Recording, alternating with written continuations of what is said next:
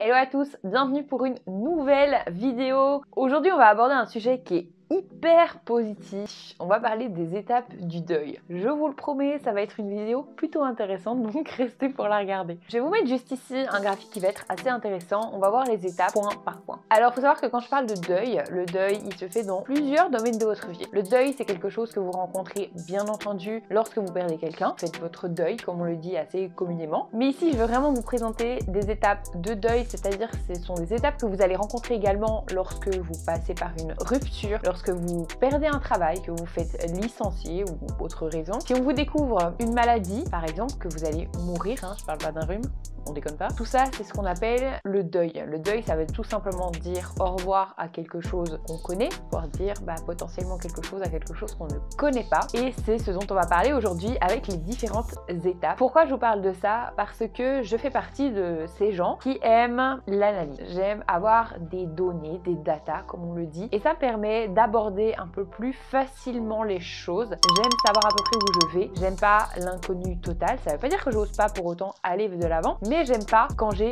zéro données. Et peut-être que vous faites partie de ces gens-là. Et personnellement, en tout cas, ces étapes de deuil m'ont énormément aidé lorsque j'ai fait face à une rupture, une mort, etc. Pas la mienne, vous vous en doutez, sinon je ne serais pas là. Mais pour autant, ça s'applique également si on vient à vous annoncer que vous avez une maladie et qu'il vous reste plus que X temps à vivre. Vous allez passer par ces étapes-là également. Alors ces étapes, elles sortent d'où? C'est Elisabeth Kubler-Ross. J'ai zéro idée si je prononce ça correctement. J'ai pas fait allemand, donc on va espérer que ce soit bon. Si c'est pas bon, bah n'hésitez pas à me dire en commentaire comment je suis censée prononcer ça. Qui a fait cette analyse du coup des étapes par lesquelles passaient les gens qui étaient en fin de vie et qui on avait annoncé une maladie. C'est quelque chose qu'elle a analysé parce qu'elle était psychanalyste. Pour autant, il n'y a pas eu d'études scientifiques avec des groupes tests, etc. Bref, tout ce que j'aime. Donc c'est plutôt une analyse extérieure et qu'on peut appeler subjective de la chose et pas objectif avec des données empiriques, des chiffres, tout ça, tout ça. Même si j'aime ça, j'aime aussi quelques analyses un peu de d'intuition quoi. Et là, en l'occurrence, on est en plein dans l'intuition parce que Elisabeth Lizzie n'a pas mesuré concrètement les choses. Du coup, la première étape, c'est le choc, l'annonce. Là, on vous annonce que vous avez, je ne sais pas, un cancer, la personne vous quitte, on vous annonce que vous êtes licencié. Bref, vous êtes dans le choc avec cette annonce. La première étape qui va être sur la phase descendante, comme vous pouvez le voir, c'est le déni. C'est pas possible, pourquoi ça m'arrive à moi? C'est pas possible, ils ont dû faire une erreur, il a dû se tromper, elle a dû se tromper, il voulait pas dire ça, il voulait pas me quitter, ou alors il se rend pas compte de tout ce que je fais dans l'entreprise. Bref, le déni. Là, je pense qu'il n'y a pas beaucoup d'images à faire. Vous niez totalement en bloc ce qui vous arrive. Ensuite, on va continuer sur la phase descendante en passant par la colère. La colère, ça va pourquoi moi? Quel connard? Quelle connasse? Comment il peut me faire ça? Il se rend pas compte? Il va regretter?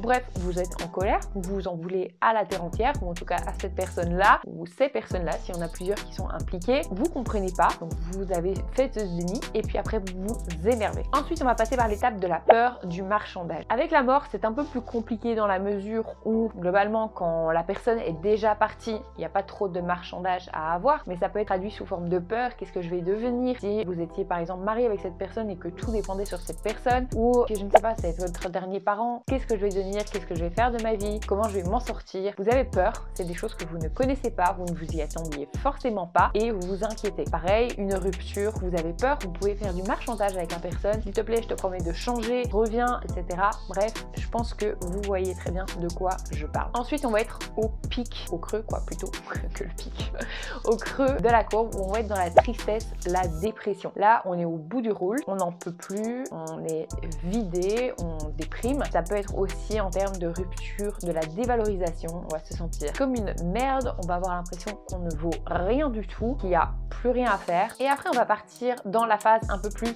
fun de cette courbe. Première étape, l'acceptation. Ok, j'ai enregistré l'info, j'ai compris que je devais faire avec, que c'était comme ça, j'accepte. On va continuer, on va passer dans le pardon. Alors le pardon, ça peut être le pardon de la personne qui vous a quitté, ça peut être le pardon du médecin qui vous a annoncé que vous étiez en phase terminale par exemple. Ça veut pas dire que vous n'êtes plus en phase terminale parce que vous pardonnez, mais peut-être que cette personne, vous étiez en colère à la phase précédente parce qu'elle vous l'avait annoncé avec très peu de tact. Là, vous allez pardonner à la personne en disant ok, de toute façon c'est comme ça et que tu me l'as annoncé avec du tact ou pas, En tous les cas, je vais mourir. Et finalement, la dernière étape, c'est la quête de sang. Donc une personne qui va mourir va chercher un sens au temps qu'il lui reste. Comment faire pour optimiser, pour profiter un maximum du temps qu'il me reste. Si vous avez perdu quelqu'un dans votre famille, vos amis, bref, quelqu'un qui compte pour vous, vous allez chercher un sens à cette nouvelle étape de la vie. Et euh, rupture, pareil, vous avez perdu quelqu'un, vous allez trouver un nouveau sens à votre vie. Et là, vous avez fini ce qu'on appelle la guérison avant temps. Donc pourquoi je vous montre ça? C'est parce que parfois, lorsqu'on est bah, surtout au creux, en tristesse, dépression, etc., on ne voit pas le bout du tunnel. On a l'impression qu'on s'en sortira jamais. Et le fait de voir la courbe, le fait qu'elle puisse remonter après, c'est quelque chose qui moi personnellement m'a énormément aidé. Vous allez peut-être me prendre pour une folle si vous n'êtes pas comme ça, mais moi j'aimais d'une certaine manière voir les étapes en mode je check. Ok, je suis passé par le déni, c'est fait. La colère, c'est fait. Et le fait d'avoir un espèce une espèce de lenteur, je voyais où j'allais et j'y allais plus rapidement. C'est ça qui était bien. Moi, ça m'a aidé à avancer plus rapidement dans ma vie après ce choc, cette rupture, etc. Et la raison pour laquelle je vous en parle, c'est justement pour ça. Dites-vous que votre cerveau, il est là pour vous tenir en vie. Je vous l'ai déjà répété à nombreuses fois. Le cerveau est là pour vous maintenir en vie. Il n'est pas là pour vous faire vivre une belle vie. Il veut juste vous faire vivre une longue vie, en tout cas le plus longtemps possible. Il aime pas les trucs négatifs, il aime pas les choses négatives et parfois, bah, souvent d'ailleurs, trois quarts du temps, même 99% du temps, le négatif prend le pas sur le positif. Et on a l'impression que c'est la fin du monde. Pour autant, quand on est heureux, on n'a pas cette sensation d'équilibre. La douleur équivalente à quelque chose de négatif n'est pas égale au plaisir de quelque chose de positif. Et c'est justement à cause de notre cerveau. Le fait de savoir ça et vous dire que votre cerveau, il veut juste vous maintenir en vie. Alors bien sûr que quand vous êtes fait larguer ou que vous avez perdu votre boulot, c'est pas la fin du monde. Et soyons honnêtes, même si quelqu'un dont vous êtes proche décède, ce n'est pas la fin de votre vie à vous. Vous avez encore une vie, vous avez encore la possibilité de faire des choses, de rencontrer des gens, de faire un tas de choses en fait. Et pour autant, ben, le cerveau, il aime pas ce côté négatif, ce mal que ça, ça peut vous créer et il veut juste vous empêcher d'avoir mal. Et voilà, c'est quelque chose qu'il faut garder en tête. Vous dire que votre cerveau, c'est pas votre meilleur ami, c'est pas pour autant votre ennemi, mais il veut juste vous maintenir en survie. Et le fait d'avoir les courbes, c'est de se dire aussi que tout le monde est passé par là. C'est une étude, certes, un petit peu intuitive et pas empirique, mais pour autant, c'est quelque chose qui s'est passé chez tout le monde. Et vous pouvez d'ailleurs voir avec les ruptures que vous avez vécues, les décès que vous avez vécus, vous êtes sûrement passé par ces étapes-là. Les étapes sont pas obligatoires dans toutes les situations. C'est-à-dire que vous pouvez sauter certaines étapes, mais la courbe va faire une courbe de Gauss inversée. Dans tous les cas, ça va être un creux et puis vous allez remonter. Ça, c'est sûr et certain, c'est quelque chose qui est forcé, mais vous pouvez par exemple sauter l'étape de la colère ou sauter justement l'étape de la peur, etc.